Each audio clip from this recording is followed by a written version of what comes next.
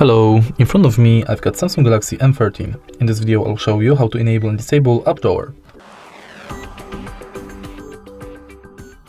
As you can see right now, App is enabled. In order to disable it, tap and hold on free space on the screen, go to settings, enter home screen layout, and select home screen only.